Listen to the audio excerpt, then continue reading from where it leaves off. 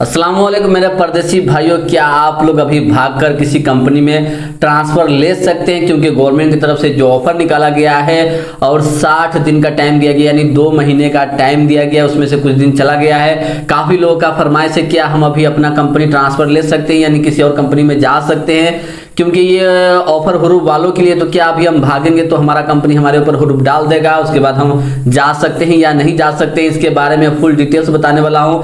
उसके बाद यही बताने वाला हूँ, अगर आप लोग सऊदी अरब में रहकर अपने आईडी पे किसी को सिम दिलाते हैं, उन लोगों के लिए भी एक बहुत बड़ा नोटिस दिया गया है और अपने अफसर आईडी के ज़रिए किसी को लॉग करवाते हैं, यानी किसी और के सिम पे अपना अफसर रजिस्टर करवाते हैं या अपने सिम पे किसी और का अफसर रजिस्टर करवाते हैं, उन लोगों के लिए भी एक छोटा सा नोटिस है। वीडियो में आगे बढ़ने से पहले छोटा सा रिक्वेस्ट करना चाहूँगा। अगर आप इस वीडियो को लाइक नहीं किया लाइक कर दीजिए। मेरे चैनल को सब्सक्राइब नहीं किए हैं तो कर लीजिए किस बात की देरी है। तो सबसे पहले मैं आपको बताना चाहूँगा, जैसा कि आपको पता होगा, शाहरुख खान का जो जन्मदिन था, उसको लेकर हर जगह यानी गल्फ कंट्री में भी बवाल हो चुका है। और दुबई में तो बुर्ज खलीफा पे शाहरुख खान का गाना भी लगाया गया था और शाहरुख खान का फ़ोटो भी दिखाया गया वीडियो के तौर पर तो आप देख सकते हैं, शाहरुख खान किस तरह से अपना फ़ोटो पोस्ट किए हैं। शाहरुख खान मुंबई में है मन्नत के पास, अपने घर में, यानी कुछ दिन पहले मैं वीडियो बनाकर दिखाया था शाहरुख खान के घर के बारे में, लेकिन उनका जन्मदिन आया तो उस दिन शाहरुख खान अपने घर पे आके लोगों के साथ मिले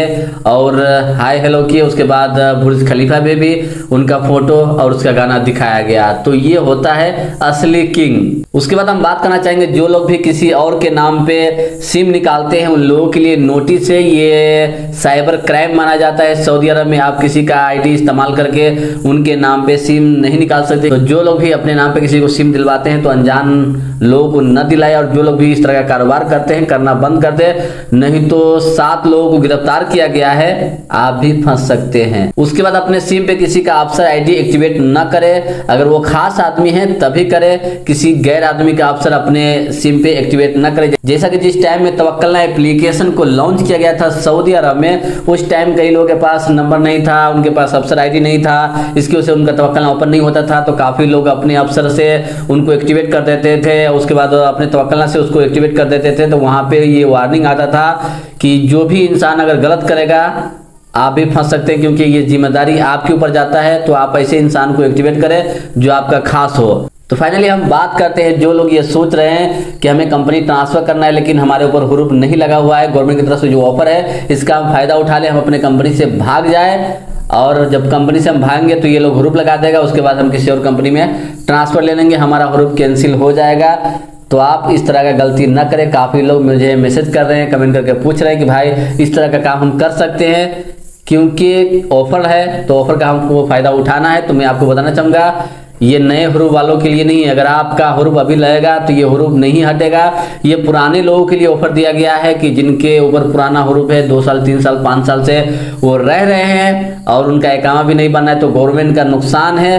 तो गवर्नमेंट अपने फ़ायदे के लिए काम किया है ऑफ़र दिया है कि जो लोग भी इस तरह से भागकर काम करते हैं या इधर उधर चुरा चुरा काम करते हैं तो कंपनी में ट्रांसफ़र ले ले। ताकि जो भी उनके ऊपर फाइन आएगा एकामा का फाइन है वायलेशन है तो उन कंपनी के ज़रिए उनके पास इनका जो इनकम है, वो पहुँच जाएगी। तो मेहरबानी करके आप अभी भागकर ये गलती न करें। आप ट्रांसफ़र जल्दी नहीं ले सकते हैं। अगर आपको भागना है तो पहले किसी कंपनी से, कफील से बात कर ले। अगर वो डिटेल्स कोई और तरीका बताता है तो कर ले। लेकिन ये तरीका नहीं है कि आप भागेंगे और बाद में आपके ऊपर हरूफ लगेगा।